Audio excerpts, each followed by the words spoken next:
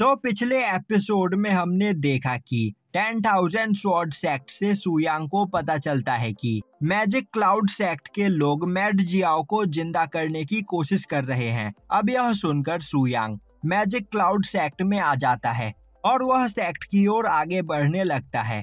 तभी वह एक फॉर्मेशन पर पैर रखता है, जिससे वह फॉर्मेशन एक्टिवेट हो जाता है और वह उस फॉर्मेशन के अंदर फंस जाता है। तभी एक पर्सन वहाँ पर आते हुए बोलता है, मुझे लगा था कि हमें रोकने के लिए यहाँ पर कम से कम युआन यिंग रैलम का मास्टर आएगा। पर तुम तो bus queue I refining realm पर हो।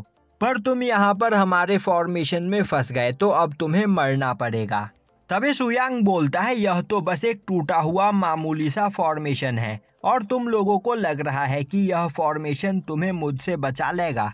तभी वहाँ पर दो लोग आते हुए बोलते हैं, तुम bus queue I refining realm पर हो और खुद को समझते क्या हो? यह आज से दस हज़ार साल पुराना फॉर्मेशन है, जिसके अंदर फंसने के बाद कोई भी यहाँ से बाहर नहीं निकल पाया। तभी सुयांग उस फॉर्मेशन को डिस्ट्रॉय कर देता है और उन लोगों की ओर आगे बढ़ने लगता है। यह देखकर सभी लोगों के होश उड़ जाते हैं। और अब वहाँ पर खड़ा पर्सन बोलने लगता है, आखिर तुम कौन हो? तुम क्यू आई रिफाइनिंग रैलम पर नहीं हो सकते। सुयांग बोलता है, मैं टियान सेक्ट का पैट्रियाक हूँ। यह सुनते ही वह पर्सन बोलने लगता है तो तुम वही हो, जिसने मेरे डिसाइपल जाओबाई को मारा है। सुयांग बोलता है, मैंने यहाँ पर कई लोगों को मारा है तो मुझे याद नहीं उनमें से तुम्हारा डिसाइपल जाओबाई कौन था? यह सुनते ही वह पर्सन सुयांग पर अटैक कर देता है, पर सुयांग उसके अटैक को अपने हाथ से रिफ्लेक्ट कर देता है। यह देखते ही वह पर्सन अपनी सबसे खतरनाक टेक्निक का यूज़ करने लगता है, जो देखकर उसके डिसाइपल बोलने लगते हैं, मास्टर की यह टेक्निक काफ़ी ज़्यादा खतरनाक है। और आज तक इससे कोई भी पर्सन नहीं बच पाया है। अब उस टेक्निक से वह पूरा एरिया फ्रीज हो जाता है, जो देखते ही। सुयांग अपने पास से कुछ फायरबॉल निकालते हुए उनसे उस पर अटैक करने के लिए तैयार हो जाता है जो देखते ही उस पर्सन के डिसाइपल हंसने लगते हैं।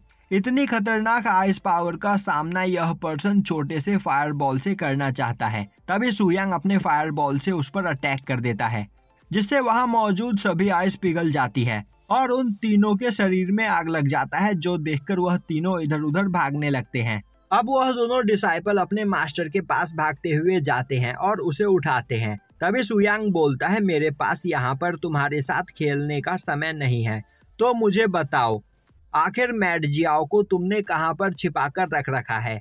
तभी वह पर्सन खड़ा होते हुए सीलिंग क्विन टेक्निक का यूज़ करते हुए सुयांग पर अटैक कर देता है। सुयांग उस फॉर्मेशन को डिस्ट्रॉय कर देता है, पर तभी एक फॉग उसे चारों ओर से घेर लेता है। तभी वह पर्सन अपने पास से एक सीक्रेट ट्रेजर कुन बोतल निकालता है और अब वह बोतल उस फॉक के साथ सुयांग को भी अपने अंदर समा लेता है।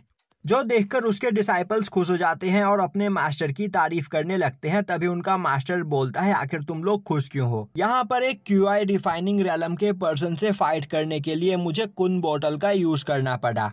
और इसका यूज़ मैंने अपनी जान बचाने के लिए किया है तो यह एक शर्म की बात है। तो अब तुम दोनों भागते हुए उस जगह पर जाओ और देखो कि मास्टर को वह काम करने में हमारी कोई मदद तो नहीं चाहिए। जो सुनकर वह दोनों डिसाइपल वहाँ से चले जाते हैं, दूसरी ओर कुन बॉटल के अंदर सुयांग चारों ओर घूम रहा होता है और अब वह देखता है कि उस बॉटल के अंदर कई सारे डीमन ऑर्ब होते हैं। साथ ही साथ उस बोतल के अंदर कई सारे ज़िंदा डीमंस भी कैद होते हैं, जो देखकर सुयांग खुश हो जाता है और बोलने लगता है, मेरी तो लॉटरी लग गई। अब इन सभी बीस्ट को मारकर इनके स्पिरिट ऑर्ब मैं कलेक्ट कर लूँगा। जिसके बाद वह वहाँ मौजूद सभी मॉन्स्टर्स को मारकर उनकी डीमन पिल्स को कलेक्ट करने लगता है। दूसरी ओर उस पर्सन के डिसाइपल्स भागते हुए एक जगह पर आते हैं जहाँ पर मैजिक क्लाउड सेक्ट के लोग एक ड्रैगन पर कंट्रोल करने की कोशिश कर रहे होते हैं।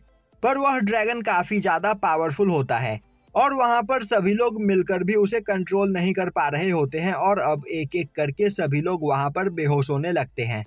तभी वह पर्सन भी भागता हुआ वहाँ पर पहुँच जाता है, और अब वह बोलता है कि हम पिछले सात दिन से इस ड्रैगन पर कंट्रोल करने की कोशिश कर रहे हैं, पर यह ड्रैगन हमारे कंट्रोल में आ ही नहीं रहा।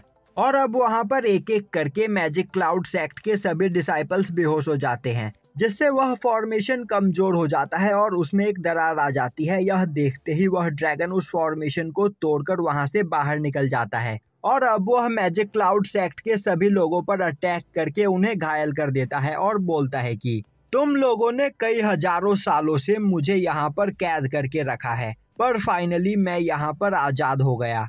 और आज यहाँ पर मैं तुम सभी लोगों को मारकर खाऊँगा और अपने हज़ारों सालों की भूख को मिटाऊँगा।